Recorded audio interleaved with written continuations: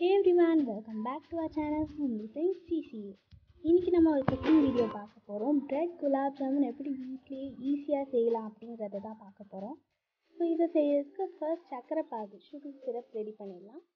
அதுக்கு சுடு தண்ணியில் சர்க்கரை சேர்த்து உங்களுக்கு ஏலக்காய் ஸ்மெல் பிடிக்கும்னா கொஞ்சோண்டு ஏலக்காய் அந்த ஃப்ளேவருக்கு மட்டும் சேர்த்து நல்லா கொதிக்க விட்டு கம்பி பதம் வந்தோடனே எடுத்துருங்க.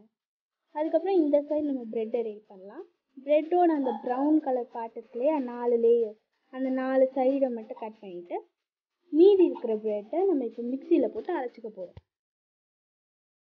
ஸோ இப்போ இந்த மாதிரி கொஞ்சம் ப்ரெட்ஸ் நம்ம கட் பண்ண அப்புறம் இதை இந்த மாதிரி நல்லா க்ரம்ஸாக போட்டு அரைச்சி எடுத்துக்கோங்க.